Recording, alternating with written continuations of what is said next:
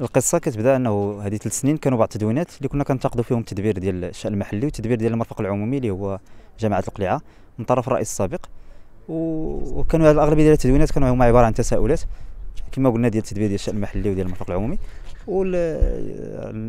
الرئيس السابق ديال الجامعة مشى رفع دعوه طال فيها تعويض ديال 30 مليون سنتيم وكانوا في السك ديال التهم كان اهانه موظف عمومي الوشاية الكاذبة وأيضا السب والقذف المحكمة في المرحلة الابتدائية ديال التقاضي حكمت بشهرين ديال الحبس موقوف التنفيذ وغرامة 2000 درهم وتعويض المطالب بالحق المدني 5000 درهم.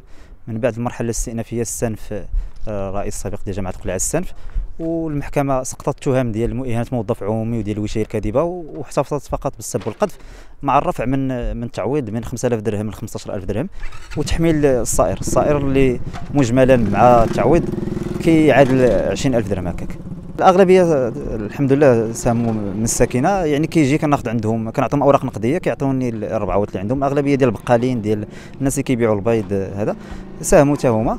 يعني كتكون شيطه شي حاجة بحال هكا 4 ريال 2 ريال درهم هذا كيقول لك زيدها ماشي مشكل. هادشي اللي اللي وقع في, هذه العملية من الطرائف اللي وقعوا في هذه العملية ديال الجمع ديال هذه النقود هذو هذه العملة النقدية فيها الريالات فيها 2 ريالات فيها 4 ريالات فيها 10 ريالات وفيها الدراهم وفيها الفئة ديال 5 دراهم. مفوض قضائي حضر أه وريناه المبلغ ككل أه بدا كيتراو في الأول قال لك حسبهم قلت له الدراهم محسوبين راه كاينين كاع تما دي ماسو اللي كاينين ديال ديال البنكة.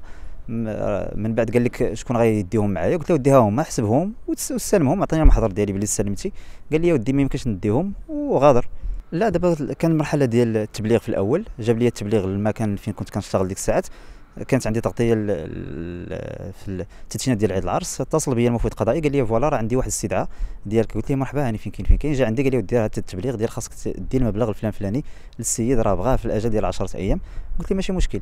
من بعد في التنفيذ صونا ليا قال لي ودي واش واجدين الفلوس؟ قلت له راه واجدين أجي اليوم هادشي اللي كاين. هو في الحقيقة تصدم لأنه يمكن أول مرة غادي يشوف التعويض بهذه الطريقة هذه. أنا قلت انت كدير العمل ديالك يعني اللي ممكن انك ديرو هو انك تحسبهم. الا ما كانش راه كاين طرق أخرى. ممكن يلتجئوا لرئيس المحكمة ممكن يلتجئوا لكتاب الضبط وديك الساعات هما يحسموا المهم المبلغ راه لحد الآن باقي متواجد باقي في الحفظ والصون. وقت ما بغيت تسلموا المفوض القضائي ولا تسلموا المطالب بالحق المدني مرحبا. ها هو راه واجد يجي ياخذوا وقت ما بغى إن شاء الله. الحمد لله أنا ناس كبار في السن فاش كتقول لهم ودي الحيتيات ديال هذا المبلغ هذا علاش كنجمعوه بهذه الطريقة هذه لأنه كيتعجب الإنسان فاش كتجي كتعطيه مثلا نقول لك أنا 1000 درهم كتعطيها ليه من فئة ديال 200 درهم خمسة الوراق وكدي عنده هذوك الريالات وربعوات. في العقل ديالو ما كيتستوعبهاش كيفاش هذا كيعطيني الوراق وكياخذ ربعوات.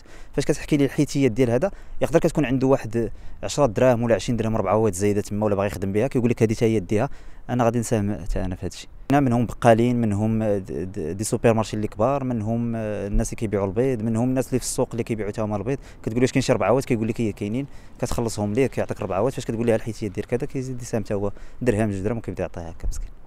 ورساله لهم كنقول لهم يستمروا للامام لأنه حرية التعبير في المغرب بهذه الأحكام وبهذه التصرفات هذو ما, ما كنظنش أنها غادي للأمام.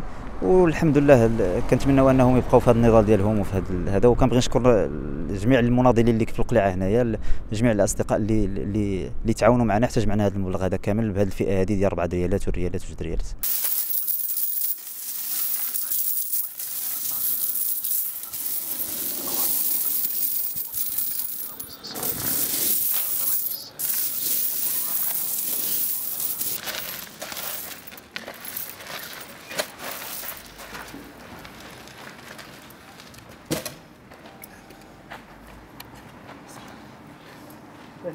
في العذاب